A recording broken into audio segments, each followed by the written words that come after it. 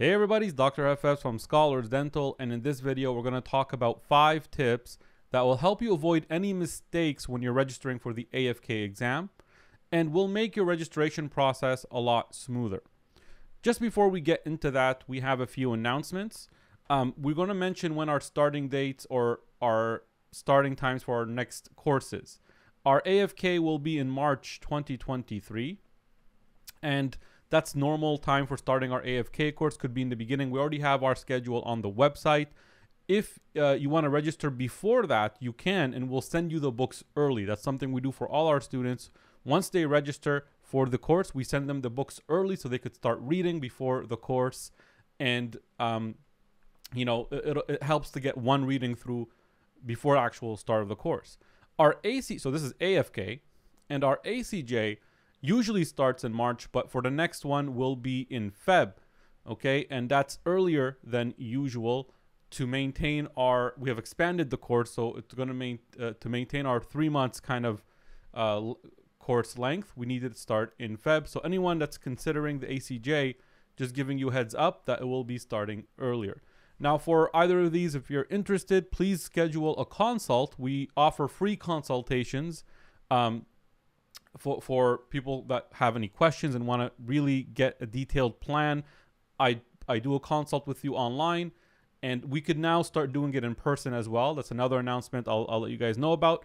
But basically, we do the consult and I discuss your plan and see what timing is the best timing for you to start your AFK and which exam to take based on um, you know your application, your approval, your your lifestyle. So so that's something we analyze and help you with. So if you're interested, book a free consultation and we could plan your NDEB process. Okay. The other announcement is we are also now going to start offering the NDECC clinical skills. Um, we have opened our uh, new office. Um, you can see here is kind of the, the web page for it. Um, and these are the the this is the lab that we're going to use. So and so we'll also take consultations in person. So you know, let us know if you want to come and give us a visit and meet us in person and we could do a consultation in person as well. We're offering some cool promos in December for the skills, um, which is a free promo actually, where anyone doing the exam could come in and start practicing. And we're offering as well work checks with those two weeks. So if you know anyone that is interested in that, you might be an AFK student, not yet. In, this may not be important to you, but if you know anyone that's interested and that could be helpful to them, let them know. And if you want to do a consult in person, let us know. We could arrange that. Just contact us on, uh, you know, on our email or or uh, number or in the link below where you can book the consult. And this is how the location area is. So you have, you know, enough parking. It's very comfortable. It's ground floor, so you don't have to climb or go upstairs or anything. Um, and hope to see you soon. So that's pretty much it for the announcements. Let's get now to the five tips. All right, so I'm just gonna clear this here. Okay, there, and we're gonna get to, so the next AFK exam, that's in Feb 2023, um, February 1 and 2, 2023. You guys can see here that the registration date is November 22nd at 10 a.m. EST. So let's put that here. So November 22nd EST. That's if I, am recording this today. That's tomorrow for me. Okay, and you have the the exam after that is March. Sorry, is um in August 2023, and the registration date would be March. So this video may be also may also apply for that future exam. Unless there's any changes, we'll update you on that. Um, so for this November registration, it's going for the Feb exam, and of course, the March registration is going for the August exam in 2023, right?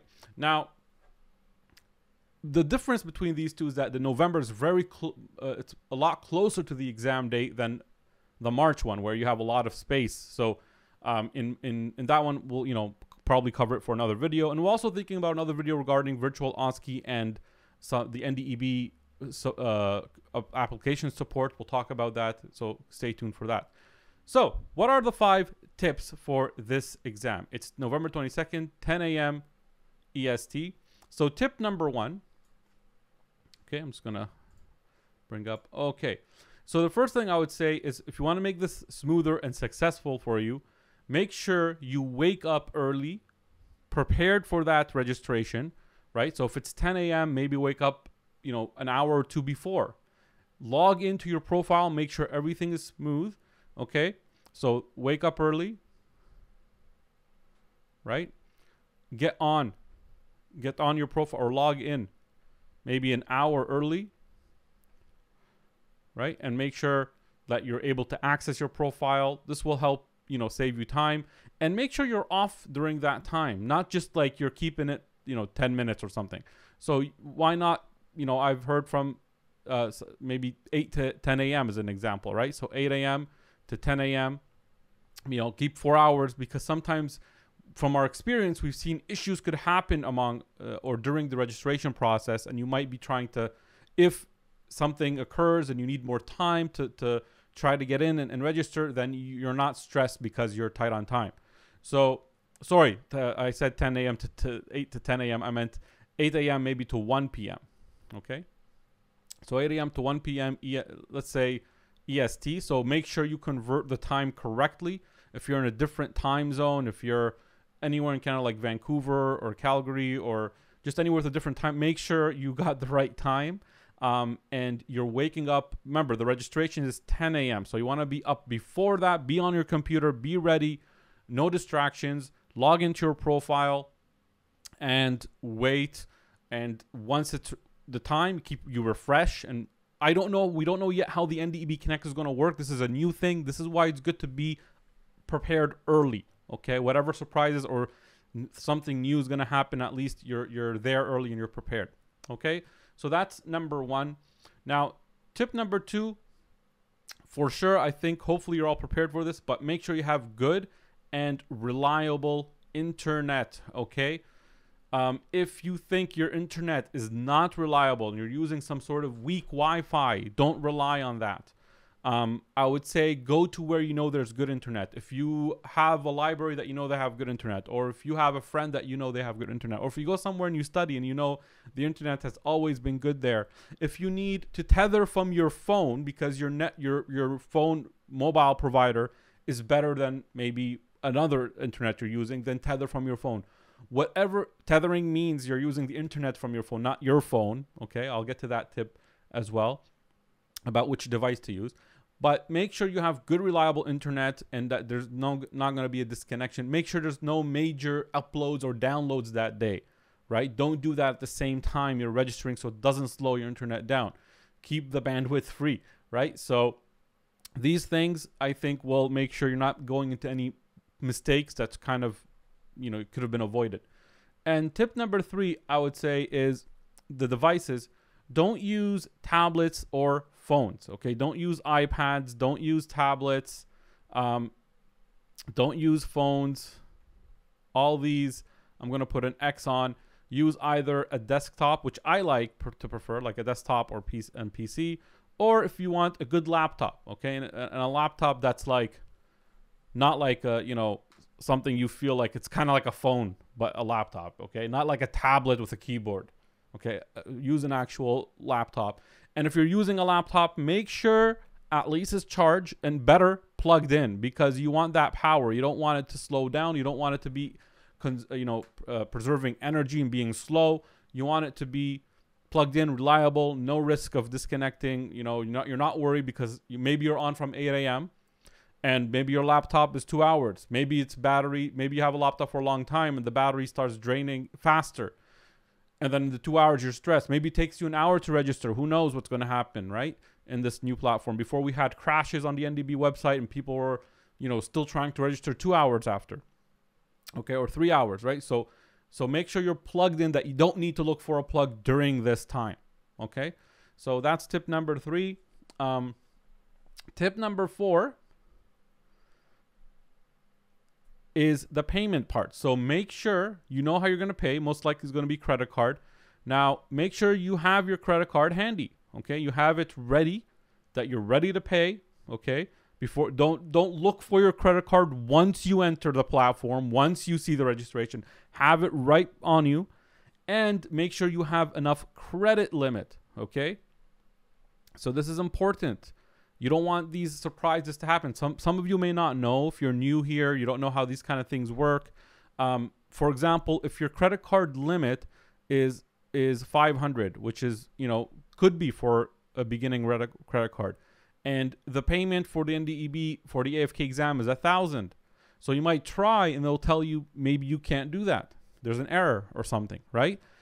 How do you fix that? Okay, well, one way to fix it is you could borrow someone's credit card that has a more limit, maybe has more than that, so up to a thousand or more, right? So maybe you borrow someone's credit card, e-transfer them the money, then do the payment, for example, if you, a friend that you know or family member. The other way is you could increase your credit limit by sending money to the credit card. So if you go to your bank account, let's say you send a thousand from your bank account to your credit card. Now your credit card for that time has 1500 amounts. Okay? It doesn't mean your credit limit always is 1500. Just it just means it keeps it you know a tab on it. So it says, "Okay, well, your credit limit is 500, but now you gave us a 1000, so you have right now 500 credit limit plus you gave us a 1000 here, so you have 1500 you could use, right? So then you could at least pay that then you actually didn't use the 500 from the so kind of you kind of use the credit card as storage of money okay? You could do that. You could send money to your credit card increase it that way um, and then pay. Now i don't know if all credit cards work the same. I don't know if they all have the same system or allow it or not. Maybe you want to try it first before you do that. So these are some ideas but just make sure your credit limit is not going to be a surprise for you on the day of registration okay? Um, now, tip number five, which is one very important one, which people, a lot of people forget to do and not think of, is know which locations you want before. Okay, don't wait until you get all the locations and now you're like thinking, hmm, which one do I want now? Because there's a good chance you might not find your favorite location. Let's say you live in Toronto and you're like, I want to go to Toronto. What if Toronto's all booked? Now you need to think about um, your second location, and you might not have enough time to think. Now, before I, I actually continue, I'm going to pause here. Why some people may be like, why is this so such an issue? Um, and those of you that know understand what I'm talking about, all these tips and why. But I forgot to mention, oh, by the way, the seats could get booked within the first 40 minutes, all of them. Okay. This is why we do this. Okay. This is why we give these tips. So some of you that are new to the process that are not really aware or don't know yet what's going on from the past, um, you might not get a seat if you don't register quickly. There, there, there's a chance that all the seats get booked in the last few cycles. It's been that all the seats are getting booked within the first hour. Okay, that's the reason we're doing this. So you want to save much time, uh, you know, as much as you can time while you're while when the uh, registration opens. You want to have all the time just to do the process. You don't want to think about anything, okay? You're already trying to discover a new platform. That's enough. And I'm pretty sure we're going to get we we help our students in our WhatsApp group, you know, that we get uh, live feedback what's happening and uh, so if there's like a crash or a page not opening we see it they tell us about it right so that's common and you you you have those issues to deal with probably but so you don't want to deal with these issues you want to have these figured out so what i would do is the locations I would name my top four or five locations. Okay, location priority number one. Let's say I want to go to Toronto first. Okay, number two, maybe if there's something in Ottawa for second. If I can't, I don't know what's third for me. Hmm, then I want to think. Maybe I want Vancouver. So you have to decide which locations come to you priority, right? And then that way, when you go in to the platform and you see the location, you go, okay, let me see Toronto. Okay, there's no Toronto. Ottawa. There's no Ottawa. You know which what's your first, your second, your third, your fourth, your fifth. Now, what locations are there? So we we don't know always what they're going to do, but in the last two cycles, we could give you that. So we, we kind of have an extra tip here to show you what locations um, they have brought before. Now, just to keep this or or disclaimer here that they might not repeat the exact same. Okay, just in case. They might not repeat the exact same. Oops, that's going to take some time if I do that.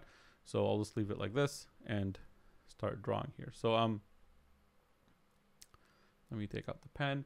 So what locations in the last uh, two cycles, of course, they had, we know they have Prometric well, it's too thin. Sorry about that. Let me just change to a brush.